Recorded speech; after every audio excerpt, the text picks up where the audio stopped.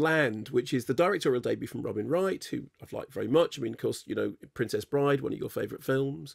Uh, she's Jenny in Forrest Gump. She's uh, uh, Claire in Claire Underwood in House of Cards, uh, in which she actually directed episodes. So this is her feature film directorial debut. So she plays a woman we meet at the beginning, talking to her psychiatrist, um, and obviously something terrible has happened in her life she retreats to a lonely cabin in the mountains of Wyoming where she wants to be completely alone. She tells the person who takes her up, this tells the place take the car away. He says, It's not a good idea for me to take the car. He says, No, take the car away.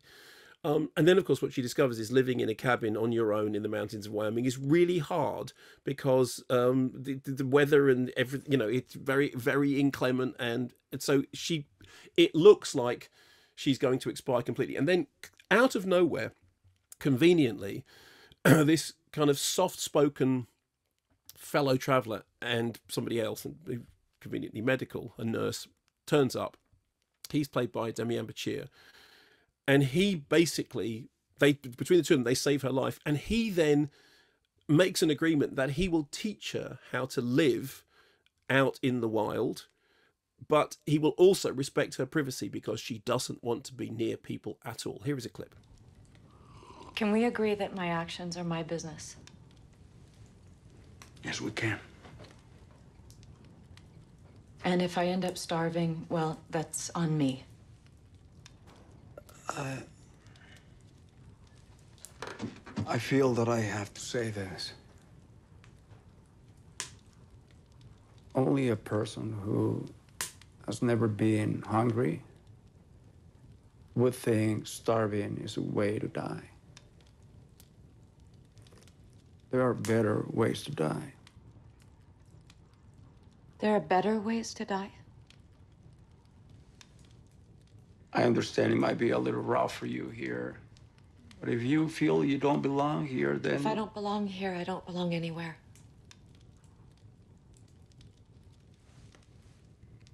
Have you ever killed anything? No. A fish. If it's all right, I, I will come back here and teach you how to trap.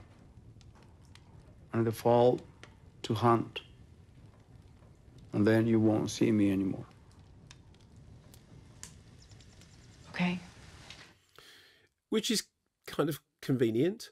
And so the rest of the movie is him doing that. Here's the thing. I mean, I respect Robin Wright very much. Uh, she's a terrific actor.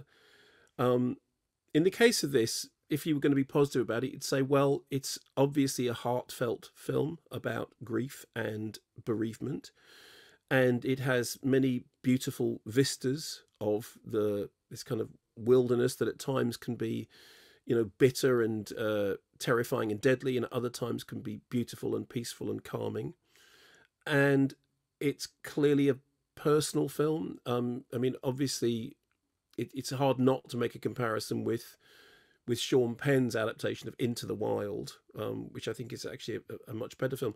the The problem with this is it feels it feels ordinary to the point of cliche, um, despite how you know heartfelt the subject matter may be. It does feel like like a movie that's put together in a in an absolute kind of tab A into slot B way, and I think the biggest criticism of it is that at no point did I actually believe that I was watching. You remember when we talked about Wild, and the most remarkable thing about Wild is that you actually believe that that character is going through all that stuff. Yeah. I mean, you know, whether it's uh, there's the moment when she loses her shoe, and yes. it's it's catastrophic. And you remember that? Yes. Yeah. It's oh oh and it's and it's so painful because you you know you're watching a film and you know that it's a film with a movie star, but you really believe that's happening. Well, in the case of Land, I never believed that I was watching anything other than Robin Wright, who I respect very much as, a, as an actor, making a movie that obviously, you know, is has a personal, heartfelt, uh, you know, uh, story, but just looked like, okay, yeah, so this is the one when you retreat from the civilization and go live in a cabin, and then Demian Bichir turns up and is helpful and there are, I mean, there are a couple of plot moments in which I think the film thinks that you don't know that that's happening, but you kind of do, and flashback sequences that come very, very close to being, you know, uh, eau de parfum by you know by Calvin Klein, um, which is it's a mean way of saying it. But the thing was, I I just think I expected something that was going to be interesting and intriguing and artistic, and what I got was something that looked nice, but was just utterly predictable and honestly quite dull. You know, you know, though, you know what they go, Infinity by Calvin Klein. I don't whatever you call it. I don't wear perfume. I, you know, I don't. I know it's a, it's a not an unmanly thing to do, but it's just, it's just not, you know, I, bit of I Old Spice under the down- armpits. That'll do it. Yeah. What was it? What was the one that which was for the man who doesn't have to try too hard? Oh Lynx. Was it Lynx? Something like that. no, Lynx was for the man who's trying desperately hard, wasn't it?